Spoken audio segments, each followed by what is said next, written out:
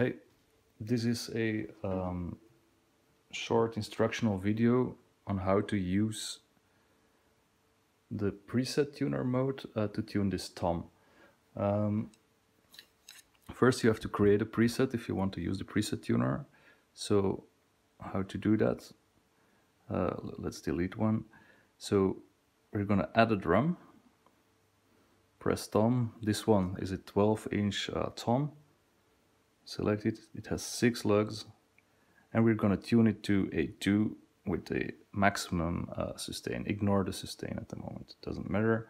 Uh, let's save it. Now we're going to select it and then it's loaded into the tuner. First step is to let the app know what is the real fundamental of the drum you're tuning. So to do that you have to lift the drum so both heads can resonate freely and then you have to hit the center.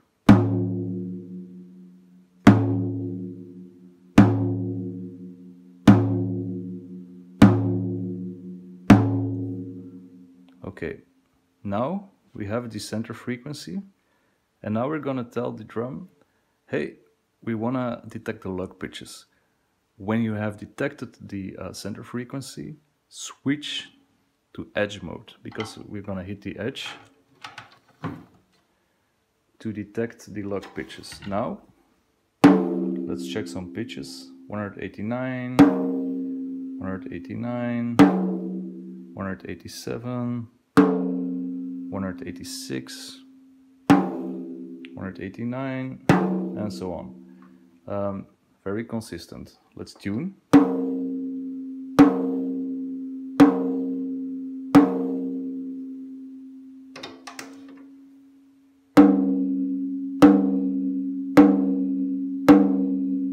Just showing that it's consistent and that the readings are accurate.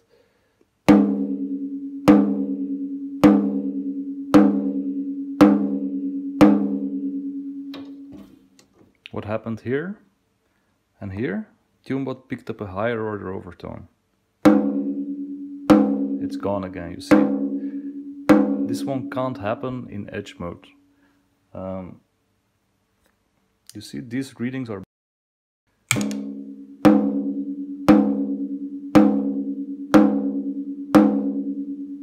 Why is that? Because it's picking up higher order overtones. If I would not be in edge mode, but in basic tuner mode, I probably would have the, the same kind of readings. 209, 209. I went to basic tuner now, as you can see. This one suddenly is consistent as well. Uh, let's measure here.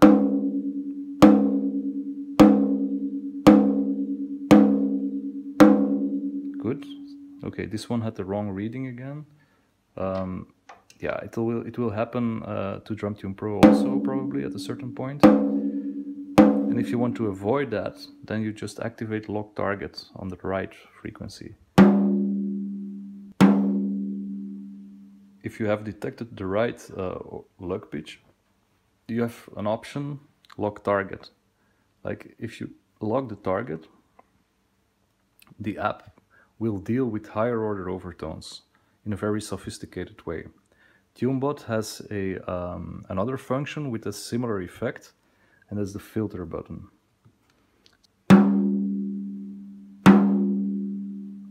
We activated it on 200 Hertz. Now we show uh, the difference with this is 11 Hertz higher.